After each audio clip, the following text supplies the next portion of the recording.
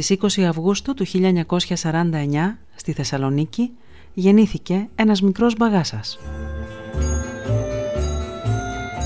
Τον είπαν Νικόλαο Ασημόπουλο, μα εκείνος όταν μεγάλωσε προτίμησε να γίνει Νικόλας Άσημος, όχι με ήττα του ασήμαντου, αλλά με γιώτα, γιατί όπως έλεγε ο ίδιος ήθελε το άσημος για επίθετο και όχι για επιθετικό προσδιορισμό του εαυτού του. Όπου και αν ψάξει κανείς βρίσκει το σύντομο βιογραφικό του πάντα με τους ίδιους σταθμούς. Γεννήθηκε στη Θεσσαλονίκη, μεγάλωσε στην Κοζάνη. Το 1967 που η Ελλάδα έμπαινε στο γύψο, εκείνος έμπαινε στη φιλοσοφική της Θεσσαλονίκης. Διοργάνωνε θεατρικές παραστάσεις, δημοσίευε κείμενα σε περιοδικά, έπαιζε κιθάρα. Το 1973 κατέβηκε στην Αθήνα χωρίς πτυχίο, συμμετείχε στην πλάκα σε διάφορα μουσικοθεατρικά προγράμματα και μετά στα εξάρχεια όπου ζούσε έφτιαξε το δικό του μαγαζόσπιτο, όπως το έλεγε, έδινε παραστάσεις, πουλούσε τις παράνομες κασέτες του, έστεινε αυτοσχέδια δρόμενα και γενικώς κυκλοφορούσε, ενοχλούσε το σύστημα και έκανε φασαρία. Έγινε της μόδας, ποιος θα σαν κατέψει ποιον; Εποχή της ρόδας και των πυρηνικών. Εκάθομαι τη στρώτο λοιπόν Ένας άλλα λέω και συστηριά Δεν σηκώνω πλέον έλλειμμα χεριά Ρε που τη βρήκα τέτοια λεβεντιά Ο Νικόλας Άσιμος ήταν πάντα ο άνθρωπος που ξεχώριζε, ό,τι και αν έκανε. Ξεχώριζε γιατί ήταν διαφορετικός από αυτό που οι κοινωνίες θεωρούν μέσο όρο. Ξεχώριζε γιατί προκαλούσε ακραία, προσπαθώντας να μιλήσει για αυτά που πίστευε ή για αυτά που τον βασάνιζαν. Άδειο το βλέμμα σου, κούφιες οι ώρες μας. Στα ενιδερία σε έχω σαν ζωή. Συνηθισμένοι καθένας στο ρόλο του. Κι η φαντασία μας έχει χαθεί. Την ξεπουλήσαμε στο γιουσουρού Για να ακουστούν, για να ακουστούν την ξεπουλήσαμε στο γιουσουρού για να ακουστούν, για να ακουστούν. Στο βιβλίο του «Αναζητώντας κροκανθρώπους» που τυπώθηκε από τον ίδιο το 1980 διαβάζουμε. «Κάποτε θα με διαβάσεις ίσως, θα ακούσεις τα τραγούδια μου, θα με κατανοήσεις, αλλά δεν θα είμαι πια εγώ. Θα είναι αυτή η μάσκα που φορούν στους πεθαμένους, όσους τους χρησιμοποιούν μετά το θάνατό τους όταν οι ίδιοι δεν υπάρχουν.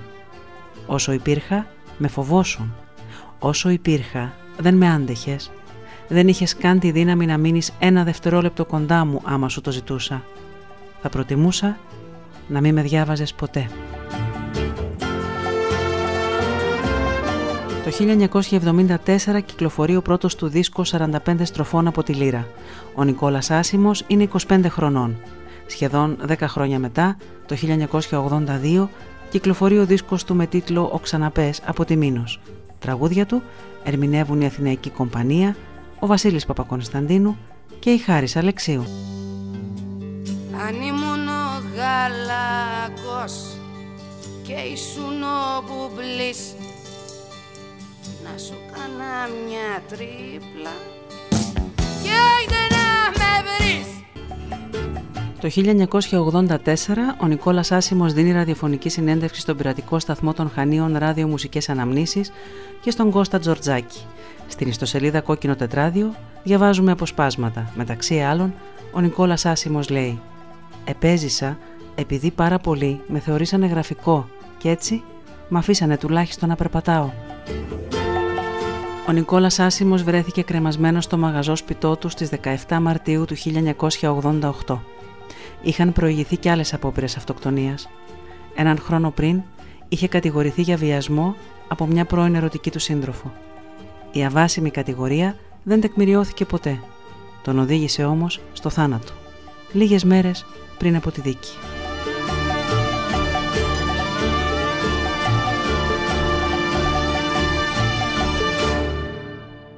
Ο Νικόλας Άσιμος, στα 38 χρόνια που έζησε, πάλεψε με θεούς και δαίμονες. Πάλεψε με ιδέες και συμπεριφορές. Πάλεψε με αυτό που συνήθως λέμε λογική και αυτό που συνήθως λέμε τρέλα. Το σίγουρο είναι πως πάλεψε επίμονα και έντιμα σε έναν κόσμο που αν δεν είσαι στα μέτρα του, σε καταπίνει.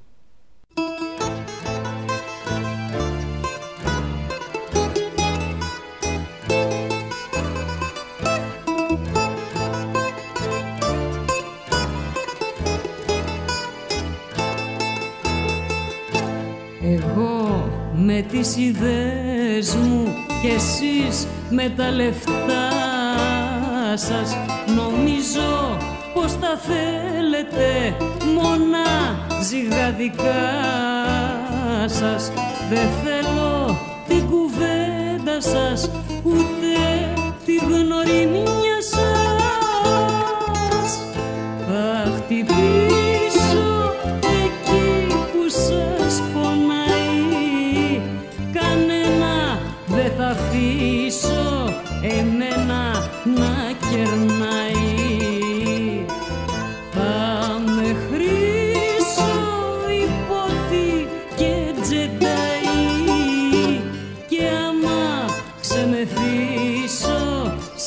λέω και goodbye